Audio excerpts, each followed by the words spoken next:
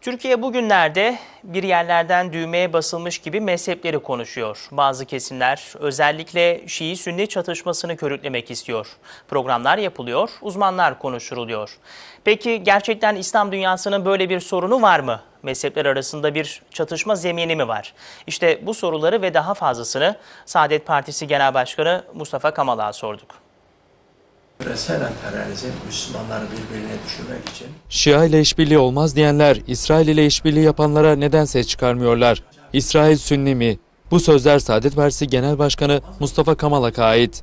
Kamalak partinin genel merkezinde Kanal 14'ün sorularını yanıtladı. her bir Müslüman karşısındaki Müslümanın hangi mezhebe tabi olursa olsun kardeşi olduğunu unutmamalıdır. Son günlerde mezhepler arasında çıkarılmak istenen fitneye dikkat çeken Kamalak, İslami vahdetin öneminden bahsetti. Hiçbir İslam alimi tarih boyunca ehli kıbleyi tekfir ile kafirlikle suçlamamıştır. Şu halde Alevi olsun, Sünni olsun, Şii olsun hangi mezhepten olursa olsun hepsinin Rabbi bir, kitabı bir, peygamberi bir, kıblesi bir. Bu kadar bu kadar birliktelik varken e niye birbirimize düşüyoruz? Ha, işte dost edindiğimiz çevreler var ya, Amerika'sı, İngiliz'i, İsrail'i, Alman'ı vesaire.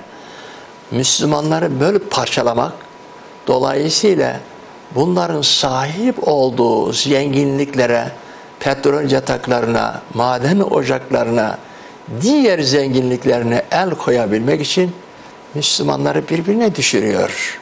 Her bir Müslüman e, kendisine sormalıdır. Tamam sen Sünni olduğun için Alevi ile dostluk ilişkisi kurmuyorsun. Yahut sen Sünni olduğun için e, Caferi ile e, ilişki kurmuyorsun. İyi de İsrail, İsrail Sünni midir? Veya Amerika Sünni midir? Veya Alman, İtalyan, İngiliz, Fransız Sünni midir?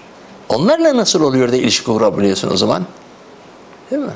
Halbuki ben, e, mezhep farklı olabilir ama onun yanında da senin önündeki Kur'an-ı Kerim var. O da senin gibi Kabe'ye yönelip e, efendim namazını kılıyor.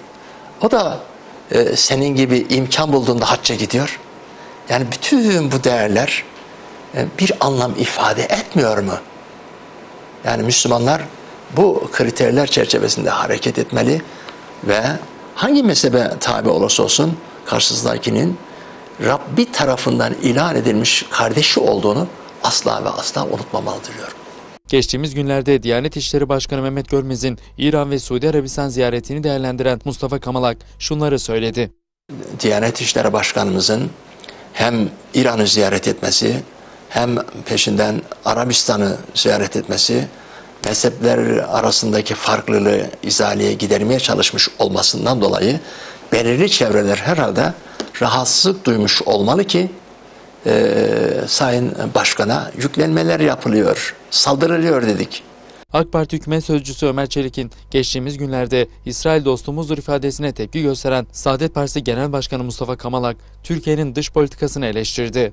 Ben e, bir basın toplantısında hükümete hitaben e, benzer soru yönelttim.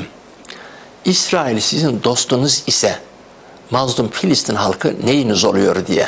Türkiye şu an tabii e, yazık ki dış politika bakımından bocalayıp duruyor. Nitekim biz Suriye konusunda hükümeti ciddi manada uyarmıştık.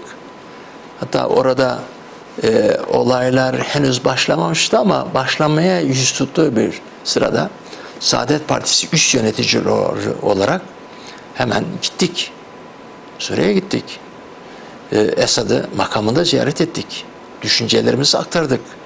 Bakın şöyle şöyle olması lazım dedik. Kendisine de e, bir ayet-i kerimeyi içeren tablo hediye ettik. İyiliği emreyle, kötülükten nehyeyle diye. Onu şey yaptık. Geldik e, Türkiye'de basın toplantısı yaptık. Bakın dedik e, Türkiye bu olayları yapıcı bir şekilde ele almalıdır. E, en kısa zamanda Esad'ı gönderecekler diye düşündüler. Balıklamasını atladılar. Yanlış yaptılar. Arkadan bildiğiniz gibi uçak düşürme hadiseleri falan oldu derken Rus uçağı düşürdü. Türkiye baktı ki yapayalnız Tamam mı? Yapayalnız yeni dost aramaya başladı. Bu çerçevede çaresizlik içerisinde e, İsrail devleti ve İsrail halkı dostumuz demek